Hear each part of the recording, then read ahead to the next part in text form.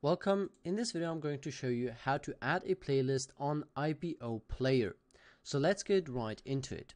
So the first thing you want to do is to log into your account and after you've done that or when you're connected you want to actually click on add playlist.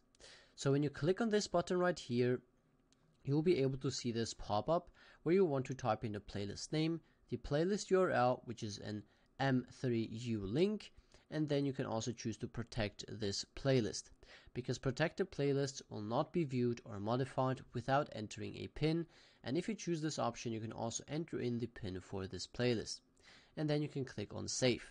Now if you go back and you choose the XC playlist then it will look a bit different. It will look like this where you type in the playlist name the username the password the host which is the server URL and again you can protect this playlist with a pin code and then you click on save again now what is important is it only remains to return to your TV and restart the app so that it loads and displays the list with the name given on its website.